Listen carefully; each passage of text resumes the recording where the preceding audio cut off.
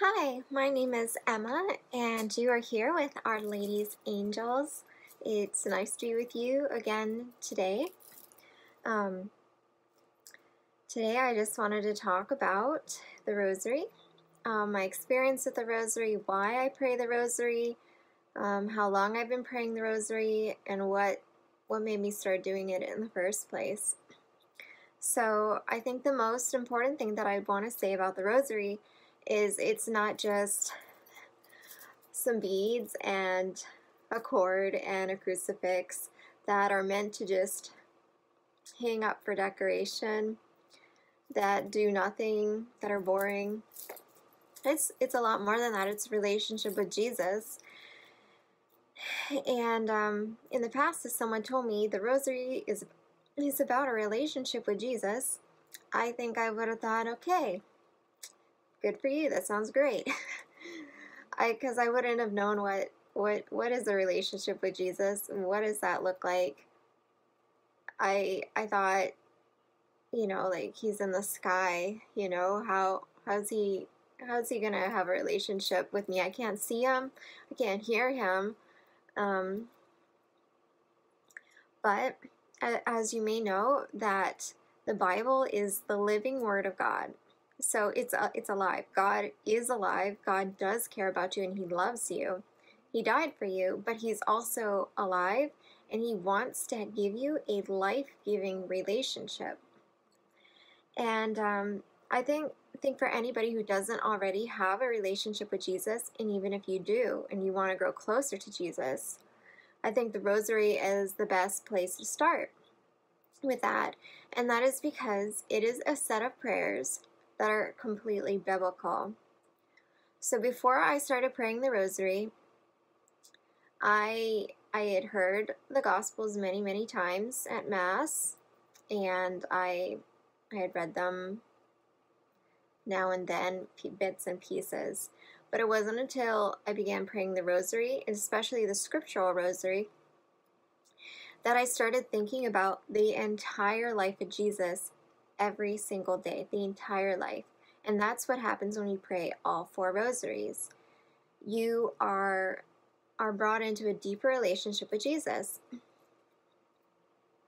where you think about, um, you know, the angel Gabriel coming to Mother Mary and announcing that God would like her to be his mother, the mother of Jesus, and Gabriel awaits that fiat from Mary, where she will say, "Yeah, that sounds good," or no thanks, no thanks, Gabriel. Go tell God, no, uh, no, no Messiah. I know you guys are all waiting for me to say yes or no, and I'm gonna say yes. And then you you think about his his birth, um, and then the pure purification in the temple after his birth. You think about Jesus running away for three days, being lost in the temple. Then you are brought to the luminous mysteries, where you think about his baptism, the wedding feast of Cana, where the first public miracle happened with the intercession of our mother. You think about his public ministry, the transfiguration on the mountain, where he gives a glimpse to Peter and two of the other apostles of who he really is and what what he's he's come for all of us to do to draw us to greater holiness in uh, this life and the life to come. And then there is the um, the institution of the Eucharist at the Last Supper, which is really important to think about the Eucharist every day, our our life and our nourishment, which is Jesus' body, soul, blood, and divinity. Then we go on to the sorrowful mysteries. We think about you know each each step of the Passion and it's like if somebody died for you it's really it, it's really uncomfortable at first to think about you know suffering because we're all trying to avoid suffering in some sort of way. It's not fun. Suffering isn't fun. It, it's not it's not a walk in a park.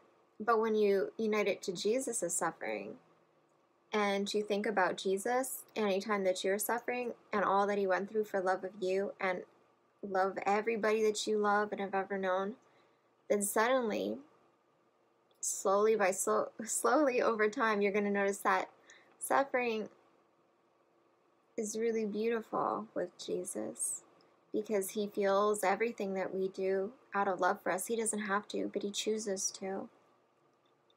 Because that's what happens when you love somebody. You want to be with them through everything, thick and thin. And then we're brought to the glorious mysteries um, with his resurrection and ascension into heaven, the descent of the Holy Spirit. Like this is really good stuff to be thinking about every day. It's um it's a mini gospel. To pray the rosary is a mini gospel, and it has completely transformed my life. It when I pray the rosary specifically, at least three to four rosaries every day. The days that I do do that, everything is different. I have way less anxiety, way more peace, way more joy. I'm able to think of things through Jesus's eyes because I'm literally walking through his entire life with him. It you know, it's so easy to get trapped inside our own heads and think about I have a lot of problems, you know, like nobody else has problems. But suddenly it's like I have a lot of problems, but look at the life of this person who loves me.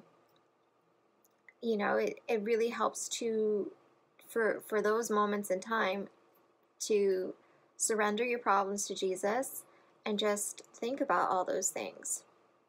So while I'm saying the Hail Mary, which is all from the Bible, I'm not I'm not necessarily thinking about Hail Mary, full of grace, the Lord is with thee. This is what Gabriel said to her.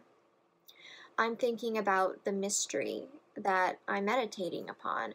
And so like I for the third joyful mystery, which is the nativity, I will be thinking about Jesus, you know, cold in a manger, you know, like what's he going to eat the next day? Like what what are Mother Mary and G- Joseph thinking about? They don't they don't have a lot of money. They're in this strange land. They don't have friends. It's cold. Like a lot of people would be crying and saying like, "God, why have you forsaken me?" But instead, they're they're joyful. This is the joyful mysteries. They're joyful in this. And they're they're they're they're humbled that God would want them to raise him and and choose them to bring him into the world and and Saint Joseph you can think about him and how he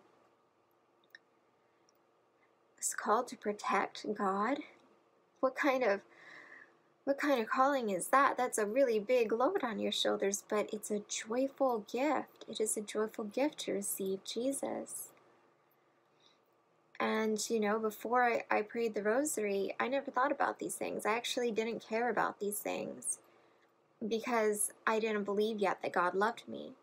But in praying these rosaries over time, I, in, in meditating and thinking about the life of Jesus, I began to receive the living word, the living God who is healing and love himself.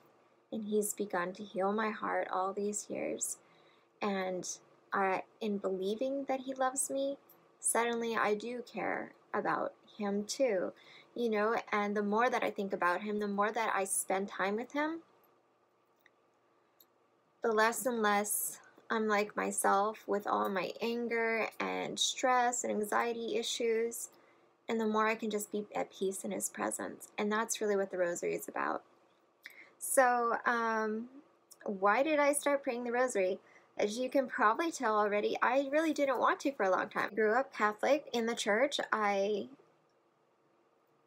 I um I received baptism. I received my first communion at age seven. My confirmation, I think, the next year, and um, it was beautiful. I I was so proud to receive my first communion. I received my first rosary from my grandmother. I have Renette and I was very very proud. Now now I got to receive Jesus, and I was I was so happy. Um, but I still full did fully didn't understand what what a great gift that was. And um, when I when I was growing up, I I remember my grandmother Renette telling me about Mother Mary and how she loved me and how she was my mother too, and how much Jesus loved me and she encouraged me to pray to them, to Jesus. And uh, Mother Mary, she is not God, but she loves God, and nobody loves Mother Mary more than Jesus does. So she prays for us too. When we say we pray to Mary, it's just like asking a friend on earth to pray for us. And so she prays for us too. And he is so happy. Jesus is so happy to answer his mommy. And so um, I, I had seen my godmother praying the rosary growing up. And I was always angry by it because I'm like, why can't we watch I Love Lucy instead? I wasn't praying the rosary. I didn't know how to pray the Hail Mary. I knew the Our Father. I didn't see any point in praying the Our Father more than once in a day. I'm like, I already asked for my daily bread. Why do I want to ask for it more? I don't I don't even like bread that much. Didn't know what I was asking for. Didn't know how how great a gift the Our Father was.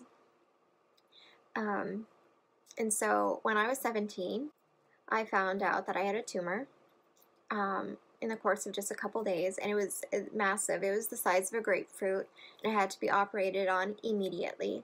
And I remember being really afraid, and I didn't know how to pray the rosary, but I just I knew I needed God, and so I'm just like, please, like, can you can you bring me into surgery with a rosary on my hand at least? Like, please, I just I need I need spiritual help but I don't think I was allowed to take it in. But I remember when I woke up, I had the rosary wrapped around my hands. Like I was on the heaviest drugs because I had my stomach cut in half. It was a very, very big incision.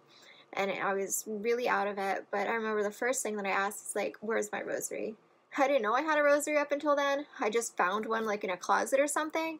I'm like, please, like put on the rosary. And I just was so desperate just for some sort of sign, some sort of um, hope that things would be okay, and that's that's what the rosary represented to me. And then it was later in that year, a few months later, I I healed, which is good. Found out I have a lot more other health problems, which was the beginning of my real journey with Jesus. But a few months later, um, my grandmother was dying, Renette, and uh, I remember the night before she died, I was many hours away, and my mom was with her so I felt like I felt very helpless, like there's nothing that I could do. But I'm like, the rosary, that's something. That's something that I could do. and I remember like just really looking online with dial-up internet, you know, waiting forever for a web page to download. And just so I could get get out some um, prayers, I'm like, okay, I have this, and I don't know what to do, and I don't know which end to start on. And I'm like, okay, well, I'm pretty sure each bead represents one prayer.